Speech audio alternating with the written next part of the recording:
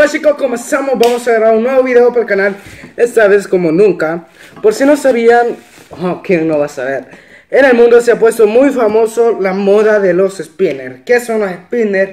Unas cositas que se ponen aquí con rodamientos y giran Sin ninguna más ciencia La cuestión es que hoy quería venir a hacer mi propio spinner Porque por si no sabían en El Salvador no ven en spinner como quien dice como agua porque aquí es bastante escaso que vendan esos spinners. Así que me he decidido hacer uno, aunque ya encargué uno y lo más pronto que venga voy a hacer un video con él. quiero hacer uno yo con mis propios méritos, me salga bien o me salga mal. Yo vi un tutorial en YouTube que yo sé que me va a ayudar.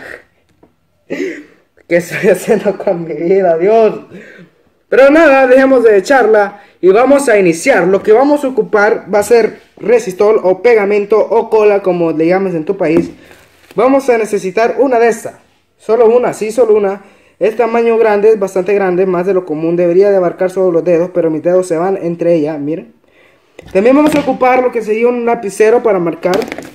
Y vamos a ocupar una hoja de cuaderno, pero de la cosita que trae atrás, la cartulina, como por ejemplo así. De lo durito. Y vamos a ocupar, este, si tienes más rodamientos como este, si consigues más como este, te recomiendo que uses más otros tres de estos. Yo solo compré uno porque sinceramente valía 5 dólares cada rodamiento y era demasiado caro. Y compré estos tres en ausencia de los otros. Eso sí, que ese spinner, como pueden ver, va a ser un spinner tamaño familiar, va a ser un spinner gigante, un spinner de los grandes, un spinner gigante. Así que ese se va a llamar spinner gigante, bautizado por T-Rex. Este va a ser el único spinner, spinner que creo que va a ser así de grande y que va a salir fuera de lo común. Así que espero que si te gusta ese video, desde ya vayas dándole like, comparte y suscríbete.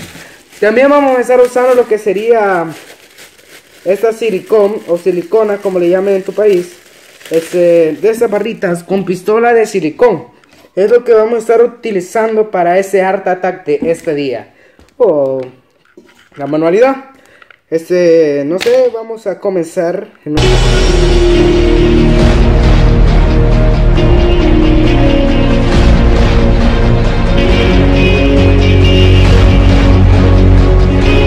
Bueno chicos, vamos a iniciar